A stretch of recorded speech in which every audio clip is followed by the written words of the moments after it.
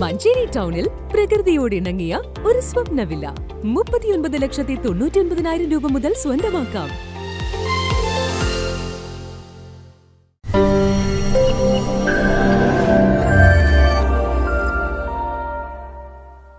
മലബാർ സമരത്തിലെ സ്മരണ നിലനിർത്തുന്നതിനായി വിദ്യാർത്ഥികൾക്കും ഗവേഷകർക്കും ഉപകാരപ്പെടുന്ന രീതിയിൽ മഞ്ചേരി തൃക്കലങ്ങോട് ചരിത്ര ലൈബ്രറി ഗവേഷണ കേന്ദ്രം സ്ഥാപിക്കുമെന്ന് ബന്ധപ്പെട്ടവർ വാർത്താ സമ്മേളനത്തിൽ അറിയിച്ചു.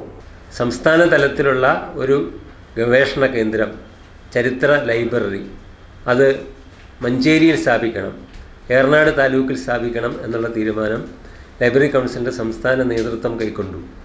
അതിനാവശ്യമായ സ്ഥലം നമ്മൾ അന്വേഷിച്ചപ്പോൾ ഇവിടെ മുപ്പത്തിരണ്ടിൽ തൃക്കലങ്ങോട് പൊതുജന വായനശാലയോട് ബന്ധപ്പെട്ട അവരുടെ പഴയ കെട്ടിടം അതവർ അതിന്റെ കമ്മിറ്റി വളരെ സന്തോഷത്തോടെ ഞങ്ങൾക്ക് വിട്ടുതരികയും അവിടെ ജില്ലാ ലൈബ്രറി കൗൺസിലിന്റെ നേതൃത്വത്തിൽ അതിന്റെ പണി പൂർത്തീകരിച്ചുകൊണ്ട് ഒരു ചരിത്ര ലൈബ്രറിയും ഗവേഷണ കേന്ദ്രവും ഉയർന്നു കഴിഞ്ഞു.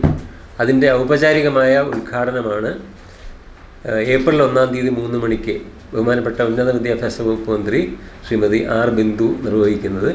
കർഷക ജന്മിത്ത വിരുദ്ധ പ്രക്ഷോഭങ്ങളിലൂടെ വളർന്ന് സ്വാതന്ത്ര്യ സമരത്തിന്റെ ഭാഗമായി മാറിയ മലബാർ സമരത്തിന് നൂറാം വാർഷികത്തോടനുബന്ധിച്ച് രണ്ടായിരത്തി ഇരുപത്തിയൊന്ന് കേരള സ്റ്റേറ്റ് ലൈബ്രറി കൗൺസിലിൽ ഉടനീളം നടത്തിയ അനുസ്മരണ പരിപാടി സംഘടിപ്പിക്കുകയുണ്ടായി.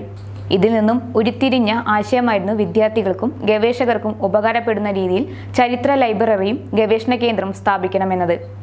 സ്ഥാപനത്തിന്റെ ഔദ്യോഗികമായ ഉദ്ഘാടനം ഏപ്രിൽ ഒന്നിന് ഉന്നത വിദ്യാഭ്യാസ വകുപ്പ് മന്ത്രി ആർ ബിന്ദു വഖഫ് കായിക വകുപ്പ് മന്ത്രി വി. അബ്ദുറഹ്മാൻ എന്നിവർ ചേർന്ന് നിർവഹിക്കും. കർഷക മുന്നേറ്റങ്ങളെ വർഗീയ കലാപങ്ങളായി ചിത്രീകരിക്കാനുള്ള ശ്രമം ഒരു നൂറ്റാണ്ട് പിന്നിടുമ്പോഴും നിരവധി വ്യാഖ്യാനങ്ങളുടെ വളച്ചൊടിക്കപ്പെടുന്നു.